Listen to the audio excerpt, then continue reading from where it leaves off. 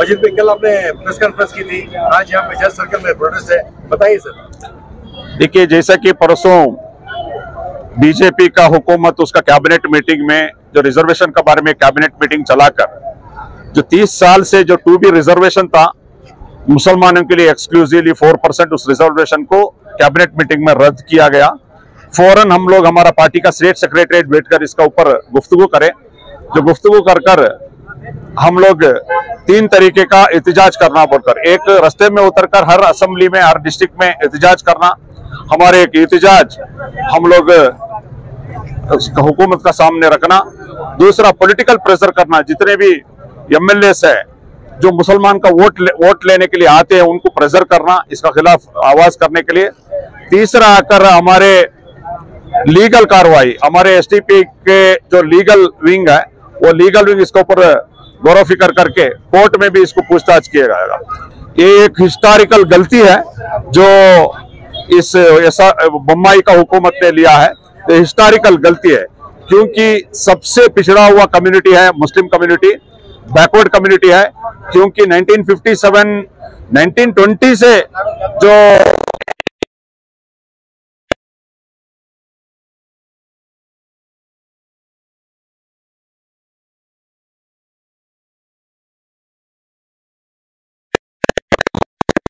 Backward है। इनको reservation देना चाहिए। उसका मुताबिक रिजर्वेशन दिया गया है और अफसोस इस बात की है, इसका बावजूद भी ये लोग इसको रद्द किया गया। तो इंशाल्लाह हमारा एहतजाज जारी रहेगा। जब तक ये रेस्टोर करके वापस a four percent Muslim community के, हालाँकि Ranganath Mishra commission 10 percent reservation देना बताए माइनॉरिटीज को, उसमें एक्सक्लूसिवली 8 परसेंट मुस्लिम कम्युनिटी को देना रंगनाथ मिश्रा का जो रिकमेंडेशन है। उसके बावजूद जो है फोर परसेंट वो भी निकाला गया। इसके खिलाफ हमारा जद्दोजहद जारी रहेगा। जब तक इन लोग वापस इसको एस्टेब्लिश नहीं करते रेस्टोर नहीं करते तब तक हम हमारा कार्य इस सिलसिले में दूसरी पार्टियाँ सेकुलर जो बोलती है अपने आप को वो अभी तक आवाज़ बुलंद नहीं कर रही। देखिए मैंने देखा नहीं कल मैंने कुमार स्वामी साहब जो एक्स चीफ मिनिस्टर एक बयान दिए मैंने देखा उनको स्वागत करता हूँ। उन्होंने बताया मुसलमानों के लिए एक जुल्म किया ये बताया। दूसरे जितने भी पॉलिटिकल पार्टी से मैं डिमांड करता हूँ आज वोट लेने के लिए जो आएँगे जो भी कम्युनिटी का हो तो आपको मुस्लिम कम्युनिटी का वोट चाहिए बोले तो आप लोग ये जो तारीख की जो नाइंसाफी हुआ है इसका खिलाफ हमारे साथ कर एहतजाज करना पड़ेगा। सर ये स्टैंड आगे जारी रहेगा हाँ हमारे जब तक ये वापस रेस्टोर नहीं होता तब तक जारी रहेगा। कोर्ट में भी हम लोग इसका कार्रवाई करेंगे। कानूनी कार्रवाई। कानूनी कार्रवाई करेंगे। बहुत बहुत शुक्रिया ये अब कोई काम के नहीं है। तो अब इनके पास सस्ता सौदा था इस कम्युनिटी को टारगेट करना। जो हमारी कम्युनिटी है, मुस्लिम कम्युनिटी को, जो four percent to be reservation था, इस रिजर्वेशन को या बीजेपी जो आरएसएस के इशारों पर चलने वाली सरकार है, ये खत्म कर दिया। अब ये खत्म करने के बाद इस, जो हमारा हक छीना गया है, इस हक के लेने के लिए, इस हक को किस तरह हम अपनी कौम को दिलाएँ, इसके लिए social democratic party of India आज पूरे रियासत कर्नाटका में एहतजाज कर रही है। सिर्फ़ एहतजाज करके हम खामोश नहीं बैठेंगे। इनशाला ये मसला हाई कोर्ट से लेकर सुप्रीम कोर्ट तक ले जाएँगे और जब तक हमारा हक नहीं मिलता हम इंशाल्लाह एहतजाज करेंगे। सर जिस तरह आए दिन हर एक नया नया मुद्दा लेके आ रहे हैं। हाल ही दिनों में जो है हज़रत टीपू सुल्तान शहीद रहमतुल्लाह के नाम को लेकर पूरी गौड़ा और मंजे गौड़ा कर कर जो है कुछ एक नया ही मज़बूत लेके आए हैं। उसको लेकर आप क्या कहना चाहते हैं बड़े बड़े जो एजुकेशन फ़ील्ड से जो तारीख फ़ील्ड से ताल्लुक रखने वाले हैं, ये लोग कह रहे हैं कि ये लोग काल्पनिक हैं, है ही नहीं है कोई शख्सियत। शहीद मिलत टीपू सुल्तान की तारीख इनके बाप दादा से पूछो।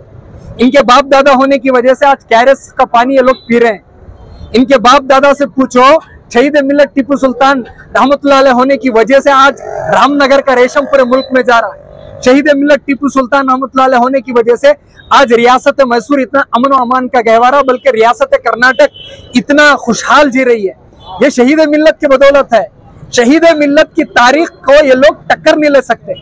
अब एक काम है, मैं आप जैसा अच्छा काम नहीं कर सकता। इसलिए क्या करूँ? आपकी जात में कीड़े निकालूं।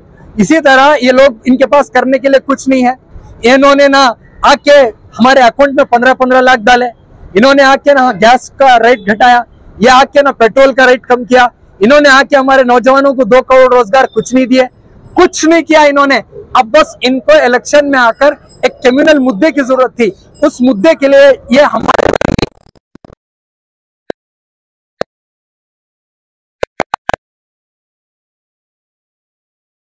हिजाब के मसले को ला रहे हैं, कभी बीफ बैन के मसले को ला रहे हैं। ये सारे एजेंडे हैं ये। इंशाल्लाह इन एजेंडों पे जब तक social democratic party of India रहेगी इंशाल्लाह चलने नहीं देगी। की जो यहाँ शिरकत है आप क्या बोलते हैं? वबरकातुहू। Social democratic trade union Mysore district president Altaf और two wheeler trade union Mysore district president हमारा मुज्जुब भाई हमारे सलमान साहब एक फर्नीचर यूनियन के प्रेसिडेंट आज का जो दिन है बड़ा ही मायूस कन दिन है क्योंकि ये जो पिछले 20-25 साल से चार परसेंट हमारे पास रिजर्वेशन था। पुलिस में रंदे रेलवे में रंदे के में रंदे ये चार परसेंट जो रिजर्वेशन के ज़रिए से, आसानी से जो पढ़े लिखे अहबाब ये ड्यूटी में चले जाते हैं फिर भी जो तादाद जो है नहीं के बराबर है। इसके बावजूद में जो, बावजूद भी जो है इलेक्शन होने के नाते जो है, ये बीजेपी गवर्नमेंट मुंबई सरकार जो है, एक मुसलमान के विरोधी के तौर पर जो है पेश करते हुए, ये चार परसेंट कैंसिल कर को ही। जबकि हमारे एमएलए को चाहिए, जिस तो जब कैंसिल करे इन्हों चार परसेंट की जगह आठ परसेंट जाको पूछ ले को भूख हड़ताल बैठना था, विधानसभा के अंदर वार कैसा करे बोल को? अब तक जो है ना एक प्रोटेस्ट है, ना धरना है। अभी जो हमारे ट्रेड यूनियन से एक मांग है, ये चार परसेंट से ज़ीरो करना सुन है, चार परसेंट से आठ परसेंट करना, वरना जो हमारी यूनियन के ज़रिए जो है सारे कर्नाटक के अंदर बार जो है प्रोटेस्ट जो है, जब तक ये आठ परसेंट नहीं होता, तब तक हमारी जदोजहद जारी रहती है यही करते अपनी बात खत्म हो असला